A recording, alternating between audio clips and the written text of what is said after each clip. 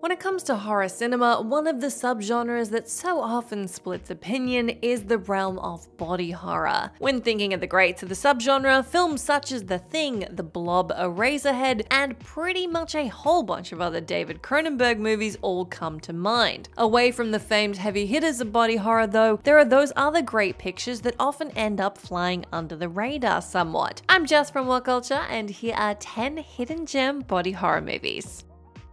Number 10. Taxidermia.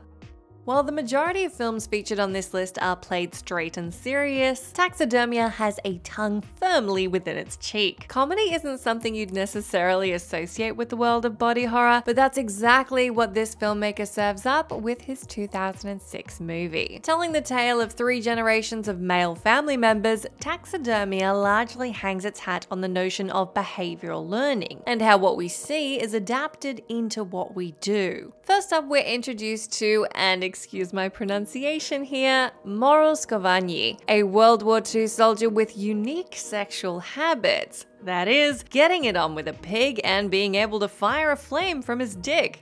Lovely. Morosgoványi eventually fathers a son, Kalman, who's born with a pig's tail. Rather than a lust for the female form, Kalman has a lust for food and ends up becoming a hefty speed eater. He then eventually has his own son, Lajoska, who replaces the urge to stuff his face with the urge to stuff dead bodies, becoming a taxidermist. All three generations here offer up some sort of twisted imagery due to their own particular habits, and the end result is a movie movie that brilliantly manages to be entertaining and charming, yet totally disgusting at the same time.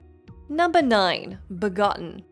E. Elias Merhige's Begotten sets its stall out early by having a mysterious robed figure, referred to in the film's credits as God killing himself, take a razor and disembowel himself. Having removed some of his own organs, this now dead person has a strange run in with a character dubbed Mother Earth. Despite the lack of life in God, Mother Earth manages to, um, arouse him, and use his sperm to impregnate herself. Ah, yes, this is another one of those sentences that I could only have imagined saying before I joined the realms of what culture horror, but here we are. With Mother Earth pregnant, she gives birth to the twisted, convulsing son of Earth before then abandoning her offspring. To think all of this is merely the setup work for Begotten, with the meat of the picture following Son of Earth as he throws up pieces of organs, gets burned alive, is then resurrected, has to witness the rape and murder of his mother, and then is once again killed. Begotten certainly is something. I don't know what,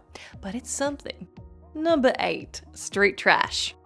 Street trash hammers home two points. Firstly, drinking is bad. Secondly, if you are gonna booze it up, be sure to steer clear of the cheap stuff. When a small time Brooklyn liquor store owner finds a batch of cheap alcohol called Tenafly Viper, he decides the best way to get rid of this booze is to sell it for cheap to the local homeless community. Over 60 years old and way past its best before date, this liquor runs through anyone who drinks it. Like, literally, with the drink's acid like properties causing it to melt those who sup on the grog. Full of some nicely mushy demises, Street Trash never takes itself entirely too seriously. After all, it's a film based around booze that melts bones and flesh, and maybe does feel a little off its time, but it's for sure a fun picture that has certain elements of social commentary and satire at play. To its credit, the death sequences and SFX work on display here in Street Trash also hold up remarkably well 24 years after its initial release.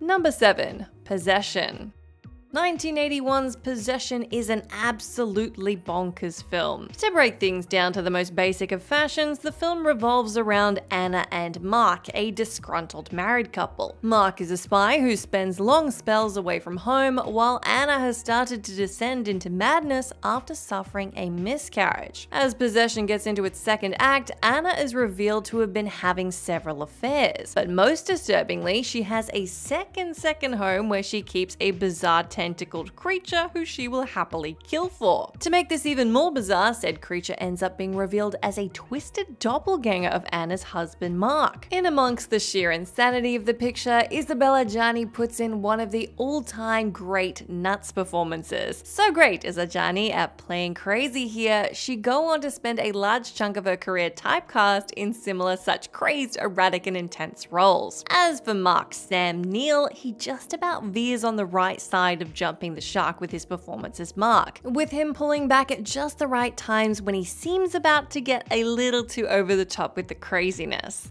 Number 6. The Eyes of My Mother like many a sturdy body horror picture, Nicholas Pesce's The Eyes of My Mother is a major head that will stay with you long after you've finished watching this 2016 effort. The Eyes of My Mother is both a disturbing, chilling movie and somewhat of a poignant, emotional film about loneliness. As a child, protagonist Francesca is trained by her surgeon mother how to remove eyeballs from animals. When a passing salesman arrives at their farmhouse door and bludgeons her ma to death, Francesca and her father keep this murderer hostage in their barn for years, with young Chiska taking out his his eyeballs and vocal cords and proclaiming him to be her only friend. Skipping ahead to the present day, salesman Charlie is still tied up in the barn, although Francesca's father is now dead. Once our lead character is forced to kill Charlie after he tries to escape, the reality is that Francesca is now all alone. Thus, she is soon on the hunt for a new friend to keep eyeless and chain up in the family barn. Number 5. Tetsuo 2 Body Hammer most casual moviegoers won't have heard of Tetsuo the Iron Man, and even less people will be aware of Tetsuo 2 Body Hammer. That first Tetsuo picture centers on a businessman who accidentally runs over a metal fetishist. As payback for this, said metal enthusiast gradually transforms his attacker into a twisted part man, part machine hybrid. In Tetsuo 2, our central creation is back in a sequel that, despite ignoring certain parts of the first film, sees him evolving to the point of becoming a living cyberkinetic gun. With his son kidnapped, our Iron Man embarks on a bloody rampage of revenge that only amps up further once he inadvertently kills his offspring when trying to take out one of his kidnappers. Amongst all of this, there's plenty more at play thanks to a villain aptly and simply named Mad Scientist, doing his best to inject the kidnapped gang's members with a serum that will turn them into beings similar to our main protagonist, Taniguchi Tomoo. Like Tetsuo the Iron Man, Tetsuo 2 Body Hammer is one of those films that any and all horror hounds should watch at least once. Number 4. American Mary from Jen and Sylvia Soska and starring genre fave Katharine Isabelle, American Mary centers on the titular Mary Mason. A medical student with spiraling bills to pay, aspiring surgeon Mary ends up turning her hand to body modification work in order to help ease her financial woes. How does one end up in such a seedy profession? Why all this started after Isabelle's character applied for a job at a local strip club. With the club's basement housing a bloodied, dying man, Mary Mary's skill set sees her talent utilized to patch the fella up in exchange for a cool 5 grand. While she feels extreme guilt and paranoia after having become involved in this shady underworld, Mary's finances, or lack thereof, outweigh the moral dilemmas that come with such work. Before you know it, our headline act is turning people into human dolls or making the infamous demon twins of Berlin very much live up to their name. There's a lot more going on in American Mary than just Twisted Bodies mind, for there's themes of sexual abuse, abuse of power, and absolutely some gory revenge as the picture plays out.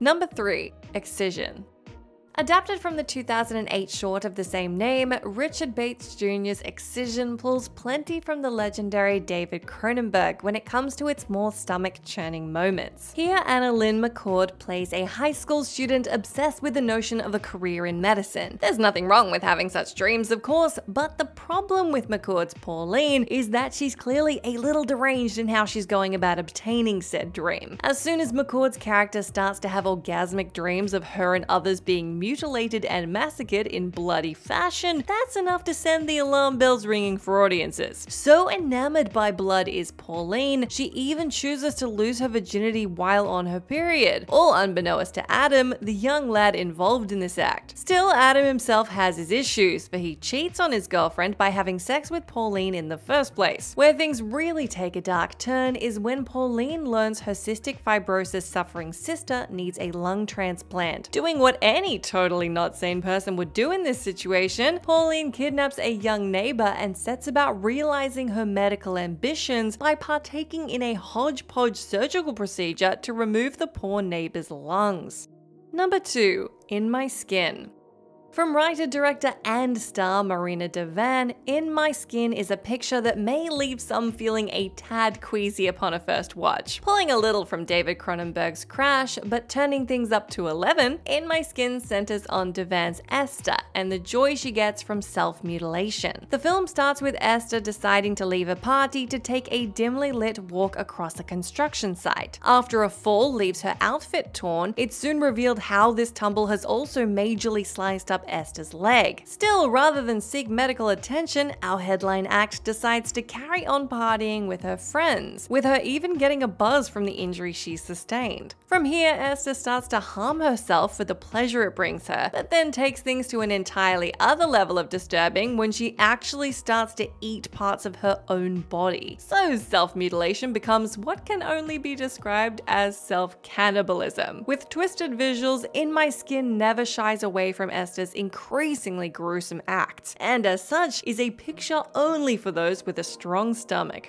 Number 1. Thanatomorphose for those wondering what the hell thanatomorphose means, a quick online search defines the word as referring to a quote, set of morphological alterations determined by death. Starring Kayden Rose as Laura, this is a film that's not for the weak of stomach. For disgruntled nurse Laura, she uses sex as a way to at least feel something in her life, with abusive dickhead Antoine her go-to partner for this. As Thanatomorphose plays out though, the more Laura has sex, the more her physical form starts to wilt. For those looking for something meaningful, this one can be viewed as a commentary on Laura's emotional state. For those looking for something gooey and garish, it absolutely ticks those boxes and then some. Throughout Thanatomorphose, horror hounds get to watch Laura's body wilt and decay in a brilliantly detailed yet utterly gnarly way. Seriously, there's body parts falling apart, maggots are running rampant, and the whole process of Laura's transformation is showcased in all of its graphic glory glory. And that's our list. Let me know down in that comment section if you can think of any other hidden gem body horror movies. As always, I've been Jess from What Culture. Thank you so much for hanging out with me. If you like, you can come say hi to me on my Twitter account where I'm at Jess McDonald. But make sure you stay tuned to us here for plenty more horror good stuff.